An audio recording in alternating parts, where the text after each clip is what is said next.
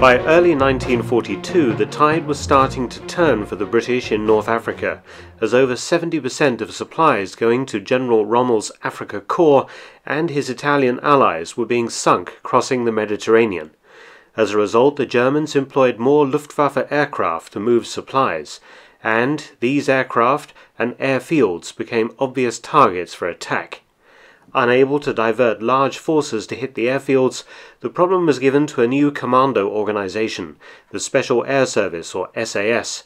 Formed in July 1941 by Major David Stirling, it was designed to operate behind enemy lines, using stealth, guile, and fieldcraft to achieve its aims. The early SAS consisted of mostly British and Free French volunteers who'd undergone commando and parachute training. But for the attack to come, stealth and guile would be replaced by overt and loud violence.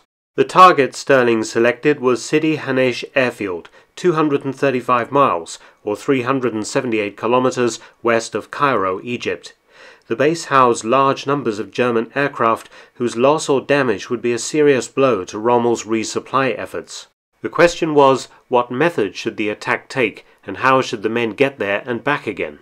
Stirling turned to another Special Forces unit, the Long Range Desert Group, for help. The LRDG had been formed in July 1940. They carried out deep penetration, covert reconnaissance, and intelligence missions behind enemy lines, using Chevrolet or Ford trucks and Willys jeeps. They were the best desert troops the British possessed. Major Stirling decided to use the LRDG to drive his SAS to the target and back. The plan was staggeringly simple. L Detachment SAS Brigade would, with LRDG drivers, use 18 jeeps, three or four men to each vehicle.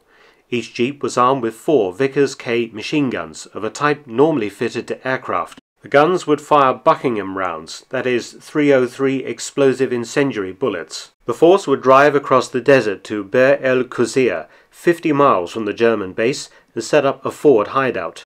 Then, moving in two columns of nine jeeps each, the SAS would smash their way onto the German airfield and drive around shooting up every parked aircraft that they could see before withdrawing under cover of darkness to race the 50 miles back to their hideout before German aircraft could begin searching for them. The mission commenced on the evening of the 26th of July 1942, when the 18 jeeps drove out of their hideout and covered the 50 miles to the target without any problems. But as they approached the airfield, the runway lights were suddenly illuminated had the SAS been spotted. But then the drone of a bomber coming into land dispelled any fears. Major Stirling stood up in his jeep and fired a green flare, the go signal. The 18 jeeps, in a large V formation, gunned their engines and shot forward at high speed towards the airfield.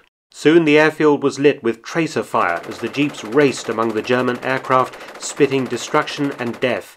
Junkers 87 Stukas and Junkers 52 transport planes blew up, were riddled with 303 bullets, and Messerschmitt 109 fighters were shot to pieces. The confused German garrison returned fire with 20mm anti-aircraft guns and small arms. Suddenly, one jeep was hit and knocked out, an SAS soldier killed.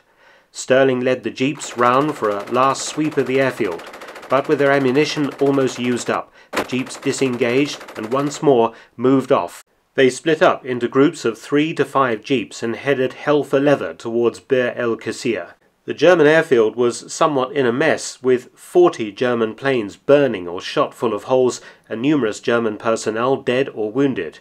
One group of French SAS fell behind, held up by punctures, and was still driving when the sun came up on the 27th of July. Stukas pounced on them, bombing and strafing nine times, killing one more SAS man and destroying several of the jeeps. But once the Stukas disengaged, the French SAS withdrew successfully to the hideout. A massive blow had been struck to the Germans in North Africa, and the SAS had more than lived up to their memorable motto, Who Dares Wins. I hope you've enjoyed this story. If you have, please do subscribe and share, and also support me on Patreon. Many thanks.